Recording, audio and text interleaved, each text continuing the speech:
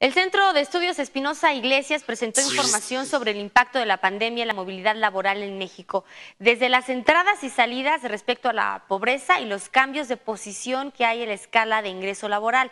Observaron que 13 millones de personas cayeron en pobreza y muchos de ellos provienen de estratos medios, incluso altos. Sin embargo, de manera curiosa, poco más de 10 millones salieron de la pobreza, aquellos que encontraron en el mercado las mejores oportunidades de ingreso.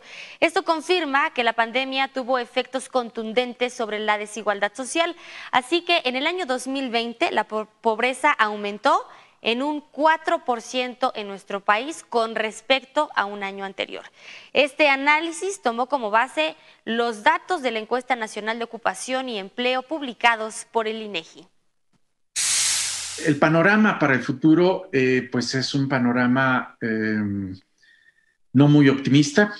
Hay que decir que hay una recuperación en proceso, pero esta no presenta el vigor que sería necesario para revertir la situación de caídas en la pobreza y deterioro en los estratos medios